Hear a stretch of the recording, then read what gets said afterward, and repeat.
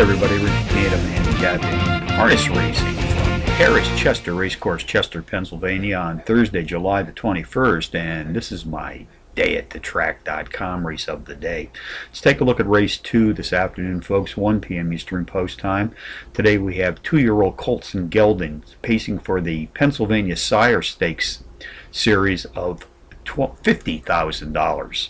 Contenders number six, Station 306, number one, Mick Boogie, number seven, Easy Again, and number four, Ethan Hanover.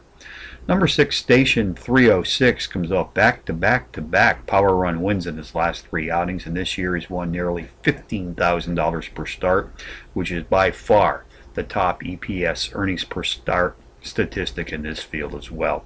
One of North America's leading drivers, Mr. Tim Tetrick, will guide him to the rolling gate this afternoon. Tetrick has posted a stellar .382 universal drivers rating in the last 12 months, which is the top UDR in this field today. Number one, Mick Boogie, the speed leader in this pacing field, comes off a power run win his last time out. Race 2 summary, number 6, Station 306 tops my contenders list, which also includes number 1, Mick Boogie, number 7, Easy Again, and number 4, Ethan Hanover, 6174 in the second from Harrah's Chester. Chester long shot see to think about today. Race 1 opener, entry number 5, Rush Hanover, a 9 to 2 shot.